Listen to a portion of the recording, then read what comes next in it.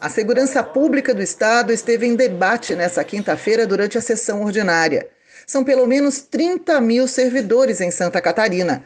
O deputado Kennedy Nunes falou da sua preocupação com a gestão do setor por parte do governo do Estado.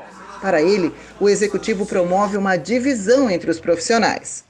A diferença que estão querendo dar e a proposta como estão querendo fazer para aumento do, da Polícia Militar vai dar para o coronel uma diferença de quase 6 mil reais e para o praça pouco menos de mil reais.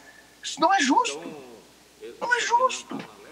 Todos merecem aumento porque a reposição salarial ela é, já alcança quase 50%, está em faixa de 42% a 43%, toda a segurança pública sem aumento durante sete anos. É justo? Não, não é justo. Tem todos que, que, que receber uma reposição salarial? Tem todos que receber uma reposição salarial, mas lembremos nós que há pouco tempo atrás houve já um, um acréscimo, houve já um avanço na, na, na remuneração dos coronéis, mas do praça não. Já o deputado Maurício Scudilar, que defendeu o governo do estado e falou que a preocupação agora é com a reforma da Previdência, que já está em negociação.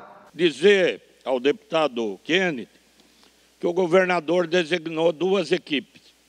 Uma equipe pelo, pelo secretário de administração, o deputado Silvio, para cuidar da reposição salarial, e está um estudo aí para dar de 21% no ano que vem, esse ano a lei não permite, a 30%.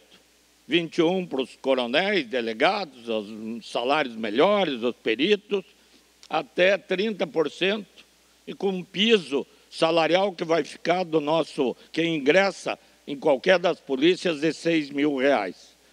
O deputado Silvio Drevek também falou sobre a reforma da Previdência e alertou para o problema que deve se agravar nos próximos anos se nada for feito agora.